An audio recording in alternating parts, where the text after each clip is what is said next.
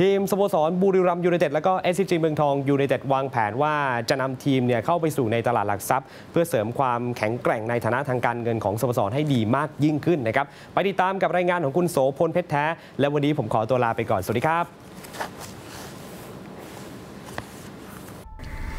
ภายใน megastore ของสโมสรฟุตบอลบุรีรัมย์ยูไนเต็ด ที่อยู่ด้านหน้าสนามไอโมบายสเตเดียมจังหวัดบุรีรัมย์ทุกนัดที่ประสาทสายฟ้าลงเตะในบ้าน เมกาสโตรแห่งนี้จะคึกคักมาก จากแฟนบอลที่มาซื้อสินค้าสโมสร การเป็นทีมชั้นนำในไทยลีกทำให้รายได้ที่พวกเขาได้รับเกิดขึ้นในทุกช่องทาง ทั้งการขายสินค้าที่ระลึก รายได้จากบัตรผ่านประตู รายได้จากสปอนเซอร์บนชุดแข่งขัน และสื่อโฆษณาในสนาม แม้ว่ารายได้เหล่านี้จะถูกหมุนเวียนมาใช้จ่าย แต่มันก็ยังไม่เพียงพอหากเทียบกับรายจ่ายที่ต้องจ่ายออกไปกับการลงทุนด้านต่างๆ โดยเฉพาะการทุ่มซื้อนักเตะเข้าสู่ทีม และนั่นก็ทำให้บุรีรัมย์ยูไนเต็ดมีแผนจะเข้าไประดมทุนในตลาดหลักทรัพย์ กระจายหุ้นให้นักลงทุนถือครอง เพื่อที่พวกเขาจะมีเงินสดในมือ รองรับการใช้จ่ายเพื่อพัฒนาทีม อ๋อไม่ไม่นี่เราเราก็เตรียมตัวอยู่แล้วปี 61 เราก็มีเป้าหมายว่าเราจะต้องเข้าไปเทรดในตลาดหลักทรัพย์ เพราะฉะนั้นนี่ไม่ไม่มีอะไรปิดบังเป็นเรื่องที่ตรงไปตรงมานะครับ เราก็เตรียมตัวของเรามา แล้วเราก็คิดว่าเรามีความพร้อมพอที่จะเข้าไปครับระดมทุนในตลาดหลักทรัพย์เพื่อความแข็งแกร่ง และเพื่อพัฒนาการของบุรีรัมย์ยูไนเต็ดที่แข็งแกร่งและดีขึ้นกว่าเดิมครับคิดว่าหลายๆสโมสรน่าจะเดินน่าจะเดินตามบุรีรัมย์ได้ถ้าเกิดบุรีรัมย์ประสบความสำเร็จ คือ ปัญหาเรื่อง internal control อืมปัญหาเรื่องของครับระบบบัญชี ความโปร่งใสของการทำทีมครับนะครับ แล้วก็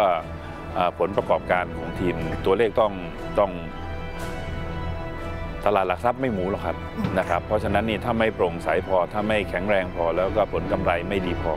ความมั่นคงไม่ดีพอเนี่ยไม่มีทางที่ตลาดเขาจะยอมให้เทรด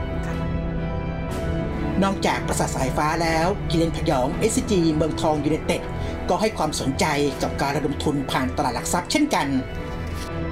ทุกบริษัทที่ทำธุรกิจไม่ว่าจะเป็นระดับเล็กๆ หรือใหญ่ๆ ทุกคนที่สุดแล้วก็หวังจะไประดมทุนในตลาดหลักทรัพย์ เพราะว่าถ้าเรามาหวังเงินจากผู้ถือหุ้นเดิม หรือเงินจากสปอนเซอร์ อย่างในสโมสรฟุตบอลอย่างเงี้ยมันไม่พอกับการที่เราจะขยายตัวเราดูอย่างจีนเนี่ยมันซื้อตัวทิ้ง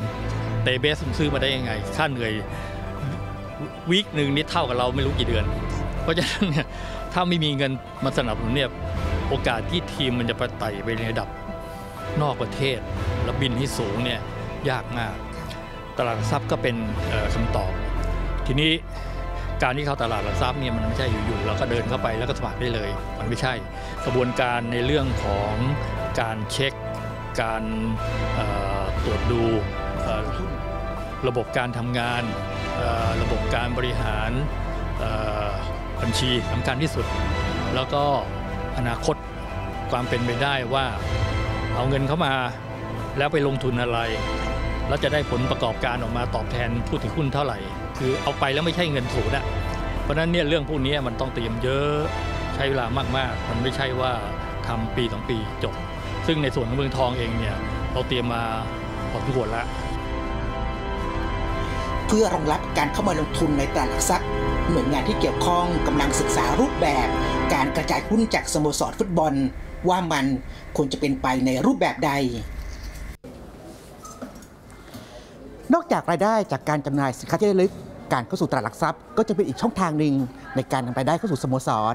มานะเพียรกล้าถ่ายภาพสพลเพชรแท้ในชั้นทีวี รายงาน เอาหน้าจับตา2สโมสรใหญ่เตรียมเข้าตลาดหลักทรัพย์ทั้งบุรีรัมย์ทั้งเมืองทองนะครับแล้วก็ท่านผู้ชมเสื้อสวยดีนะใช่ฮะเสื้อคุณโสพลด้วยนะฮะจากทีม Reading